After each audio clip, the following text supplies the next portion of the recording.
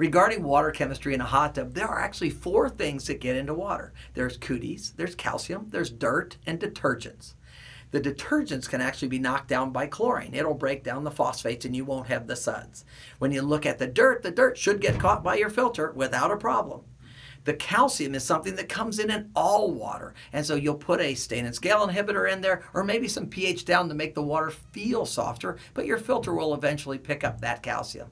But the cooties are the things you want to mess with. When it comes to bacteria, when it comes to any type of thing that gets into the water, you want to kill that bacteria. So chlorine, bromine, and ozone are used. When you talk about chlorine, chlorine is stable to 80 degrees, so it'll react with the water and it'll kill everything, but it will almost immediately dissipate.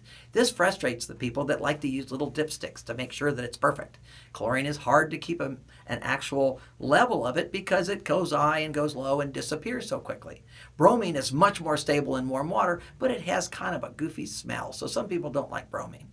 So my favorite is ozone, which is O3. O3 touches the water, releases an ion of oxygen, which attaches to a cootie, and the cootie dies of old age. That's the best of the best. So when it comes to water chemistry, just watch the water clarity. Everything else will fall into place.